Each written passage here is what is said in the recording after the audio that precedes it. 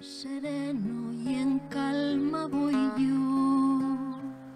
El nieto se marchó pa'l valle. Su abuelo en el patio quedó. Dos de ellos fumaban y se reían sentados al lado de una pila de cadáveres. Eran al menos diez o doce. Los que estaban amontonados, no recuerdo ya bien. Delante de ellos yacía una mujer desnuda con el vestido levantado hacia su cara. Había también cuatro chavales de otros pueblos cercanos. A los mayores les obligaron a orinar sobre la pila de muertos antes de cavar para enterrarlos. Había sangre por todas partes. Pobre gente. Ya nunca pude olvidar aquel día. ¿Cómo olvidar aquello?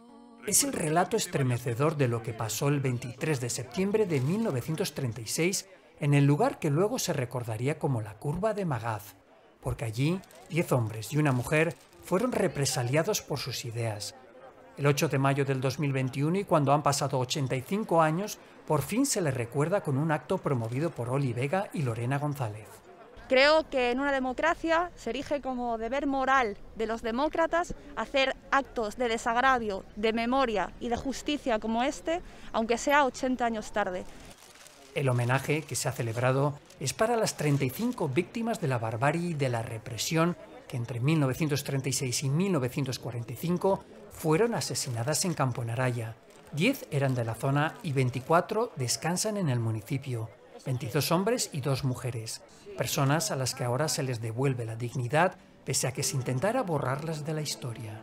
Es necesario recordar que el fascismo golpista trató de enterrar en el olvido más sombrío a hombres y mujeres buenas, a personas cuyo único delito fue luchar por defender los valores de la democracia y la libertad y por proteger a sus familias.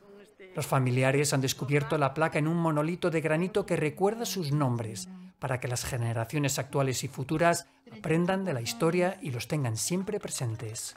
Lo único que queremos es que se sepa la verdad y se haga justicia. Desgraciadamente, muchos se quedaron en el camino sin ver cumplida la reparación ansiada de los suyos, pero otros, los familiares aquí presentes, pueden ver por fin su sueño hecho realidad. Un sueño que gracias a la colaboración de la Asociación por la Recuperación de la Memoria Histórica y del investigador Santiago Macías se convierte en un espacio de reflexión sobre los fusilados, cuyos expedientes han permitido reconstruir lo que pasó en aquellos años. Me comprometo a que la vicepresidenta primera del Gobierno les entregue a las familias una copia de sus expedientes aquí, en este lugar, en Camponaraya, en Maga de Abajo. Durante el homenaje en el que han colaborado también la Junta Vecinal de Magaz de Abajo, el Ayuntamiento y la Junta de Castilla y León con la cesión del terreno, los familiares han narrado en momentos muy emotivos sus experiencias y testimonios. Lo detuvieron, lo encarcelaron sin ningún motivo, era un panadero, justo, alegre, y mi abuela le llevaba la comida a la cárcel todos los días. Mi abuela tenía tres hijos y estaba embarazada del cuarto. Y un día llegó a la cárcel y a él ya lo habían fusilado la noche antes. Lleno de horror y de espanto, pues te diré que si cualquier día vienes y te dicen que ya no estoy aquí, puedes contar, como seguramente, de que ya no me, ve, no me veis más. Yo soy nieta de Mariano Fernández Fernández, carpintero de San Esteban de Valdueza un trabajador y por lo que sus hijas han contado, un padre cariñoso.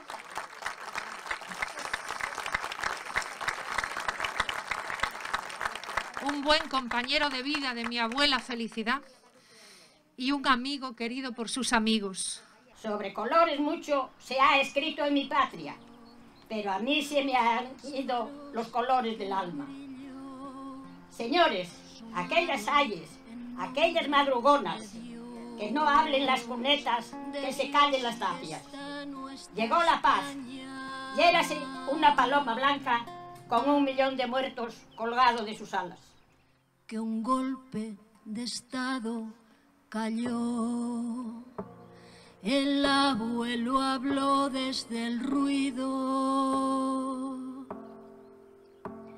El nieto desde el